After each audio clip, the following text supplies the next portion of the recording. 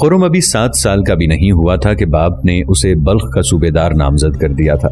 इस ओहदे की जिम्मेदारियाँ उसके सरपरस्त मेहदी सुल्तान ने संभाल रखी थीं, लेकिन खुरम जल्द ही इस बात का आदि हो गया था कि उम्र में बहुत बड़े और मुमताज़ अहदेदार भी उसे कोरनिश बजा लाया करें। खानजादा बेगम ने बाबर की तरफ़ इशारा करते हुए खुर्रम से कहा कि ये तुम्हारे मामू जान हैं। फिर भी खुर्रम एक अजनबी शख्स के सिलसिले में अपने बेताल्लुकी के तर्ज अमल पर फारी तौर पर काबू न पा सका। दिल ही दिल में उसे नजरअंदाज करता रहा और महज उसके आम लिबास ही के बायस नहीं। उसने बदले नाखास्ता सर की एक जुम्बिश से बाबर को सलाम किया और बस, ना उठकर बाबर के पास गया और ना ही उससे कोई बात की। खानजादा बेगम ने बेटे के शाने को हल्का सा धक्का देते हुए सख्त लहजे में कहा, जरा होश में आइए ना, हम लोग बाबर मिर्ज़ा के दरबार में हैं। इन्हीं की सिफारिश पर तो शाह इस्माइल ने हमें आज़ाद किया था।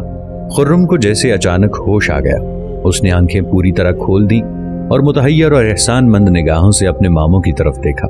बाबर को अब एहसास हुआ कि लड़के की आँखें माँ ही की आँखों की तरह बड़ी बड़ी और तेज हैं। खुर्रम दरबारी आदाब को जो उसे सिखाए गए थे भूला नहीं था। उसने अपने मुड़े हुए बाएँ पैर को आगे किया। दाएँ घुटने के बल बाबर के सामने बैठकर दोनों हाथ सीने पर रखे और सर झुकाकर लड़कों के जैसी खनकती हुई दिलनशीन आवाज़ में बोला, आलीजा, ये नाचीज आपकी खिदमत में हाजिर है। और अब बाबर ने देखा कि खुर्रम की नाक भी खानजादा बेगम की नाक जैसी है। उसके दिल में भांजे के लिए जो बहुत ही खुददार लड़का मालूम हो रहा था, मोहब्बत के जज्बात उमड़ आए। हालाँकि इन जज्बात में भी हाल ही में बुझाई जाने वाली आग के तलख धुएँ की कुछ बू भी बसी हुई थी। खिदमत में हाजिर हुए हो तो खुशामदीद अज़ीज़ भांजे। बाबर ने कहा और खुरम को अपने दाएँ पहलू में बिठा लिया। इतने में कोई पचास साल की एक फरबा अंदाम औरत जो हरम की निगरान थी, इजाज़त लेकर अंदर आई और कहा कि मलिका आलिया बादशाह सलामत और उनकी हमशीरा से मुलाकात करना चाहती हैं। बाबर ने बहन की तरफ़ देखा और मुस्कुराते हुए मानी खेज अंदाज में औरत से कहा, उनसे कहिए कि मिर्ज़ा हुमायूं को भी अपने साथ लेती आए। बाबर की नौजवान मलिका माहम बेगम को नामहरमों की मौजूदगी के बायस दीवान खाने में आते हुए शर्म महसूस हो रही थी। चुनाचे कासिम बेग और मोहम्मद कोकलताश बाबर से इजाज़त लेकर दबे पाँव बाहर चले गए। खानजादा बेगम के लिए महल का जो हिस्सा वक्फ किया गया था, उसके दरवाजे के बाहर मुताद अफराद इकट्ठे हो चुके थे। मुर्गिलान का ख्वाजा कलाम बेग कब्वा का ताहिर, ताशकंद का सईद खान, समरकंद का मजीद बरलास और अंदजान का सिपाही यूसुफ। सब के सब खानजादा बेगम से मुलाकात करके अपने अपने वतन की खबरें दरियाफ्त करना चाहते थे। कासिम बेग ने उन लोगों को वापस कर दिया। पहले वो अपने अजीजों से जी भर कर बातें कर लें, फिर आप लोगों के लिए भी इजाज़त हासिल कर लूँगा। शरीरा बदन और शफ्तालू के रंग का चुस्त लिबास। ये थी नौजवान मलिका जो तीन साल शहजादे वली अहद की उंगली पकड़े हुए दीवान खाने में दाखिल हुई। खानजादा बेगम को फ़ौरन ही एहसास हो गया कि लड़का बिल्कुल बाबर ही पर पड़ा है। वो तेज़ी से उठकर उन दोनों की तरफ़ बढ़ी। माहम बेगम सादगी, शाइस्तगी और नफासत से सर को खम करके आदाब बजा लाई। खानजादा बेगम ने करीब पहुंचकर अपने हाथ उसके नाजुक और गोल शानों पर रख दिए, चेहरे को देखा। ओ, कितनी हसीनो जमील हैं। और फिर बाबर की तरफ़ मुड़कर बड़े मसरूर लहजे में कहा, मुबारक हो, कितने मौजू हैं आप दोनों एक दूसरे के लिए। परवरदिगार हमेशा शादाओं फरहा रखे, नन्ना हुमायूं माँ का दामन थामे अपनी अजनबी फुफी का पाँव से सर तक बगौर जायजा ले रहा था। खानजादा बेगम ने उसे गोद में उठा लिया और हैरत की बात थी कि बच्चे ने उसकी गोद से निकलने की जरा भी कोशिश न की। फिर जब खानजादा बेगम ने अपना रुखसार उसके गाल से सटाया तो वो मुस्कुराने लगा। खानजादा बेगम हुमायूं को गोद में लिए हुए खुर्रम के पास आई और उसे नीचे उतार कर बोली, लीजिए, छोटे भाई, अपने बड़े भाई से मिलिए। वली अहद बाबर का तीन साला बेटा और शैबानी का दस साला बेटा। दोनों जरा देर तक चुपचाप खड़े एक दूसरे को तकते रहे। फिर हुमायूं की तवज्जो खुरम की कमर से लटकते हुए छोटे से शानदार खंजर की तरफ़ मबजूल हुई और उसने न्याम की तरफ़ हाथ बढ़ाया। खुरम ने नन्हे से हाथ को थामकर धीरे से दबाते हुए सलाम किया लेकिन खंजर देने पर आमादगी न ज़ाहिर की और एक कदम पीछे हट गया। ये देखकर दूसरे सब अफराद हंस पड़े और बाबर ने सोचा, अपने माल से महरूम होना कोई भी नहीं चाहता। लेकिन खानजादा बेगम ने कुछ भी न सोचा। वो तो सोचने की बजाय मसरूर हो रही थी। जिन फिक्रों और अंदेशों से वो कंदस तक के सफ़र के दौरान काँप उठती थी, अब उनकी जगह मुसरतों ने ले ली थी। अब उनकी जगह ये कह कहे थे, इन कम सिन ताजदारों को नहीं, बल्कि उन बच्चों को देखने की मसरत थी। दिलकशो दिलरुबा माहम बेगम की मुस्कुराहटों के जवाब में मुस्कुराने की ख्वाहिश थी। भाई के साथ जिससे वो बचपन के उन अयाम से लेकर जब वो दोनों भी उन्हीं बच्चों जैसे थे, आज तक शदीद मोहब्बत करती रही थी। खुशियों को बांटने की राहत थी। उसके दिल में इंतहाई सर्द मौसम सरमा के बाद आखिरकार बहार आ गई थी। खूबसूरत और पुरमसरत बहार। खानजादा बेगम ने एक बार फिर माहम को देखा।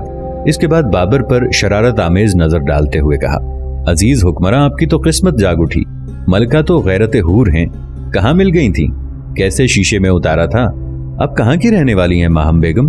खुरासान की आपाजान। माहम आँखों ही आँखों में शाहर से इल्तजा करने लगी कि मुझे शर्मिंदा ना कर दीजिएगा। ये ना बता दीजिएगा कि मैंने हरात में दीवार के ऊपर से आपकी तरफ़ फूल फेंके थे। नाजरीन, आगे बढ़ने से पहले कमेंट सेक्शन में हमें अपनी आरा से ज़रूर आगाह कीजिएगा कि आपको हमारी ये सीरीज़ कैसी लग रही है। आइंदा आने वाली इकसाद से बाखबर रहने के लिए हमारे चैनल को सब्सक्राइब कर लें और साथ मौजूद बेल आइकॉन को ज़रूर क्लिक कर लें। शुक्रिया। बाबर का दिल बाग बाग हो गया, लेकिन उसने जानबूझकर उकताए हुए लहजे में गोया के कोई सरकारी दस्तावेज़ पढ़ रहा हो। खानजादा बेगम को बताया कि उसकी शरीक ज़िंदगी सुल्तान हुसैन बेकरा के रिश्तेदार है, लेकिन चार साल कबल उसके वालिद को बतियो जमा से बदमजगी हो जाने के बायस हरात से गजनी जाकर बस वहीं बस जाना पड़ा था। बाबर ने माहम के वालिद और भाइयों को गजनी से काबुल बुला लिया था, जहाँ माहम से उसकी मुलाकात हुई थी। फिर उसने अचानक लहजा बदलकर बहन से पूछा, हरात और मुर्गाब के दरमियान एक शहर पड़ता है।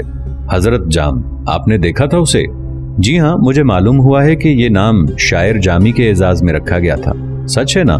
सच है, लेकिन मैं तो दूसरी ही बात का ज़िक्र करना चाहता हूँ। हमारी बेगम के निनिहाली बुज़ुर्ग जामी के रिश्तेदार थे, फिर उसने मज़ाक के अंदाज में इजाफा किया। मैंने आपको ये बात इसलिए बताई कि हमारी बेगम शेर व सुखन का बहुत आला जौक रखती हैं। बड़ी कदरदान हैं। इन्हें तो अजीम इस अब्दुलरहमान जामी और अली शेर नवाई के दीवान के दीवान जबानी याद हैं। मैं जब भी कोई गज़ल कहता हूँ तो ये इतनी खामियाँ निकालती हैं कि ना पूछिए। महम ने शाहर के मज़ाक का जवाब भी मज़ाक ही से दिया। कोशिश करनी पड़ती है मेरे सरताज, मेरी तनकीदी सलाहियत को खामखा आसमान पर चढ़ा रहे हैं आप। खानजादा बेगम ने उन दोनों की इस छेड़छाड़ का सिलसिला कुछ और आगे बढ़ाया। मैं तो इस नतीजे पर पहुँची हूँ बाबर जान कि आपकी जितनी भी तारीफ़ करें कम है। शुक्रिया, आपा जान। महम बेगम जरा देर खामोश रही, फिर उसने खानजादा बेगम से कहा मैंने आपकी दलेरी और ईसार के मुतालिक बहुत कुछ सुन रखा था और हमेशा आपसे न्याज हासिल होने का ख्वाब देखती रहती थी। खुदा का हज़ार हज़ार शुक्र के आज वो ख्वाब पूरा हो गया। आपाजान में आपका तस्वुर कुछ इस तरह करती थी जैसे आप कदीम दास्तानों की कोई मलिका हो। लेकिन आपसे मुलाकात हुई तो दिल में ख्याल आया कि आपका मुआजना किसी अफसानवी मलका से करने की क्या ज़रूरत है। आपको तो हमेशा ही हमारे घर और हमारे दिल में इंतहाई काबिल एहतराम मकाम हासिल रहेगा। खानजादा बेगम ने इन अल्फाज में दिली खुलूस को महसूस किया और इसे बेख्तियार आयशा बेगम याद आ गई। अच्छा ही हुआ कि बाबर जान ने पहली बेगम को तलाक दे दी थी। साथ ही साथ उसे खुद अपनी हालत पर अफसोस भी हुआ कि भाई जैसी खुशबख्ती उसे नहीं नसीब हुई थी। उसे तो मुकद्दर ने तकालीफ झेलने के लिए शैबानी खान के हरम में धकेल दिया था। इतने में बाबर की तवज्जो इस बात की तरफ़ मबजूल हो गई कि खानजादा बेगम के बालों में हल्की हल्की सफेदी नमूदार हो चुकी है। हालाँकि वो अभी चौंतीस ही साल की थी। बहन ने बाबर को माँ का उस जमाने का चेहरा याद दिलाया, जब वो बेवा हो गई थी। और अब खानजादा बेगम भी बेवा हो चुकी थी। उसने दिली हमदर्दी के साथ बहन से कहा, मैं आपका मरहून मिन्नत हूँ, आपा जान, और ज़िंदगी भर रहूँगा। मैं शाह इस्माइल की शराफत को भी कभी फरामोश न करूँगा। जिन्होंने आपको सही सलामत हमारे यहाँ भिजवा दिया। मैं आपकी इजाज़त से शाह के मुतालिक कुछ अर्ज़ करना चाहती हूँ। खानजादा बेगम का चेहरा कुछ और खिल उठा। शाह की मलिका ताज खानुम बेहद हसीन है। वो मुझे शाह के पास ले गईं। मैंने शाह के बारे में अजीब भयानक से किस्से सुन रखे थे। मैं उनसे बहुत खाइफ थी, फिर भी चली गई। सोचती थी कि पुराने किस्सों कहानियों में जिन देवों का ज़िक्र आता है, बस उन्हीं के जैसे होंगे, लेकिन मैंने तो तख्त पर नफीस चेहरे मोहरे के कोई पच्चीस साल के नौजवान को बैठे देखा। दाढ़ी नहीं थी, मूछे अलबत्ता पतली पतली लंबी लंबी सी थी, नाक भी जरा लंबी ही थी, और आँखें खूब बड़ी बड़ी सी। वो अजरबैजानी जबान में बातें कर रहे थे, लेकिन मेरी समझ में आ रही थी। उनके यहाँ औरतों की बहुत इज़्ज़त की जाती है। इस बात को मैंने अपने इस सफ़र के दौरान भी महसूस किया। औरतों की इज़्ज़त तो पहले हमारे यहाँ भी बहुत की जाती थी। बाबर बीच में बोल पड़ा। समरकंद में एक मदरसे का नाम भी बीबी खानुम के नाम पर यूँ ही थोड़े रखा गया था। उसके सामने ही सराय मलिक खानुम के नाम का मदरसा वाक़ था। शाह ज़िंदा मकबरे में शादी मलिक खानुम और तोमान आका की खबरें भी मौजूद हैं। हरात में गौहर शाद बेगम के नाम का मशहूर मदरसा मौजूद है। ये सब अमीर तैमूर के खानदान की खातन थी। पता नहीं, बहुत मुमकिन है कि अमीर तैमूर के जमाने में मुमताज़ खातन की बहुत इज़्ज़त की जाती रही हो। माहम बेगम बाबर की तरफ़ देखते हुए क्या उठी। पर आजकल न जाने क्यों हालात कुछ बदल से गए हैं। ये तो किस्मत के खेल हैं, बाबर ने कहा। उस जमाने में उलूम फ़नून की तरक्की के उस जमाने में औरतों की इज़्ज़त बढ़ गई थी, क्योंकि उलूम फ़नून की हकीकी तरक्की औरतों की शिरकत के बगैर मुमकिन नहीं। वो शुरा और अहले इल्म को तख्लीकी तहरीक अता करती और ख़ुद भी तख्लीकी तहरीक के तहत अंजाम दिए जाने वाले कामों में औज कमाल पर पहुँचने के जोश खरोश की हामिल होती हैं।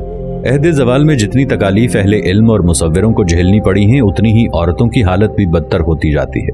बजा फरमाया आपने, रूहानी ज़िंदगी के जिस जवाल का आपने ज़िक्र किया है, वो आजकल सारे मावरन नहर में फैल चुका है और इसे देखकर दिली अजियत होती है।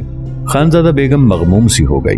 मुल्क बल्कि ये कहना ज़्यादा दुरुस्त होगा कि उसके जिस्म पर मुसलत हो जाने का जुनून सवार है। उन्हें मावरन नहर की रूह की खाक भी फ़िक्र नहीं। मुझे जंग में हलाक कर दिए जाने वाले अपने शहर में अब ऐब ना निकालने चाहिए, लेकिन मजबूर हूँ। शेबानी खान ने बिखरे हुए एक दूसरे के जानी दुश्मन कबाइल को मुतहद किया। मावर नहर पर काबिज हो गए। अपने नाम पर मदरसा तामीर कराया। उन्होंने दरिया जरफशां पर पुल भी बनवाया। ये उनके कुछ नेक काम हैं। लेकिन ना पूछिए कि वो अहले इल्म और मुसवरों के साथ कितने उजड़पन से पेश आते थे, कितनी नफरत करते थे औरतों से। कोई उनसे कह देता कि तैमूर खान के हुक्मरानों ने औरतों की याद में मदरसे और मकबरे तामीर कराए थे तो वो गुस्से से पागल हो उठते थे। उनका तो कहना था कि अजीम अलग बेग ने इल्म फन के चक्कर में पढ़कर मज़हब इस्लाम को ही फरामोश कर दिया था। औरतों की तारीफ़ करके उनके लिए मदरसे खुलवाकर अखलाक को खाक में मिला दिया था। उनके हुक्म से शैबानी नामा और नुसरत नामा दो किताबें लिखवाई गई थीं। ये मेरी नज़र से गुजरी हैं। उन किताबों में एक भी औरत का नाम शामिल नहीं है। बादशाहों और सुल्तानों की माओ और बेटियों के तस्करे बस यूँ ही फुला की दुख्तर, फुला की बेगम कहकर कर दिए गए हैं। गैर औरत का नाम लेने का हक किसी को भी नहीं था।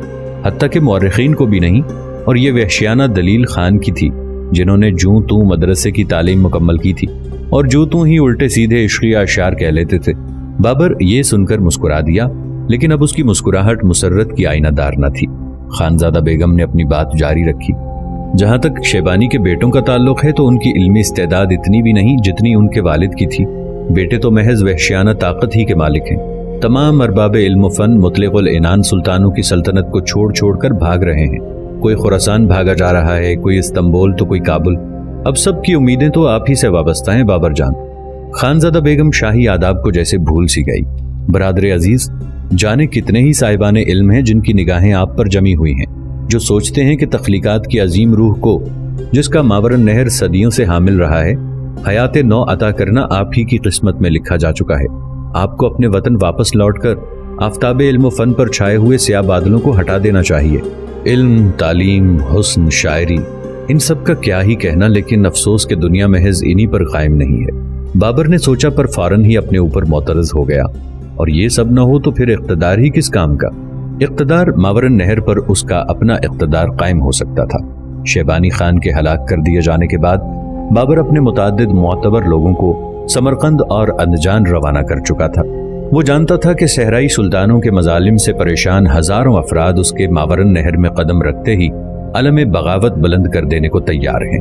अंदजान से तो गुजशत हफ़्ते ही खुशखबरी मौसू हुई है। बाबर ने कुछ यूँ कहा जैसे खुद अपने ही ख्यालों का जवाब दे रहा हूँ। हमारे एक ननहाली रिश्तेदार सईद महमूद ने अपने हामियों को मुनजम करके सहराई सुल्तानों को अंदजान से मार भगाया है। उन्होंने मुझे लिखा है कि आप कारातेगन होते हुए जल्द अज जल्द अंदजान पहुँच जाइए। आपका वतन बड़ी बेचैनी के साथ आपका इंतज़ार कर रहा है। तो फिर आप अंदजान तशरीफ़ ले जाएँगे? खानजादा बेगम ने धीरे से पूछा। बाबर ने उसी तरह खोए खोए से अंदाज में नफी में सर हिला दिया। दरअसल वो चाहता था कि अपने किसी मोतबर बेग की कमान में कुछ फौज अंदजान भेज दे और खुद हिसार होते हुए बराह रास्त समरकंद चला जाए। लेकिन वो जानता था कि बैक वक्त दो शहरों पर हमलावर होने के लिए उसके पास काफ़ी लश्कर नहीं है। इसके लिए शाह इस्माइल को नजरअंदाज करना भी मुमकिन न था, जो उससे खाना बदोश सुल्तानों के खिलाफ फौजी माहदा करना चाहता था। बाबर को मालूम था कि खानजादा बेगम के साथ शाह का एलची किस मकसद के तहत आया है। वैसे एलची ना आया होता, तब भी खानजादा बेगम को आने की इजाज़त देकर शाह ने इतनी फयाजी के साथ बाबर पर जो एहसान किया था, उसका मकसद वाजे ही था। नहीं, अकेले तो अंदजान पर ही हमलावर नहीं हो सकता था। समरकंद का तो खैर ज़िक्र ही क्या। बाबर को ये इत्तला भी मिल चुकी थी कि शैबानी का बेटा, दलेर सिपा सालार तैमूर सुल्तान, अपने एक सफीर को तहाइफ के साथ शाह के पास भेज चुका है। उसने सोचा, खुदा न खास्ता कहीं दोनों बड़ी ताकतों में गठ जोड़ना हो जाए। अपनी चीज़ से भला कौन महरूम होना चाहता है?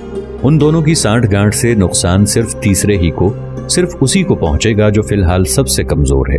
लेकिन वो अगर आरजी तौर पर बस कुछ ही दिनों के लिए इस्माइल से मिल जाए तो?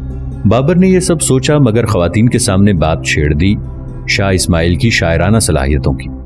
हमारे एलची मिर्ज़ा खान ने, जिन्हें मैं जल्द ही दोबारा शाह के पास भेजने वाला हूँ, एक बार मुझे शाह की कुछ गजलें दिखाई थी।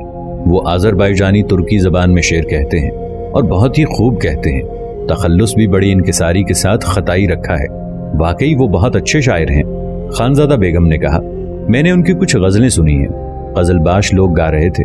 शाह से जब मेरी मुलाकात हुई थी तो उन्होंने भी मेरे बरदर अज़ीज़ की तारीफ़ करते हुए कहा था, हम बाबर शाह और बाबर शायर का तह दिल से एहतराम करते हैं। फिर उन्होंने आपकी गज़ल का मतलब भी सुनाया था।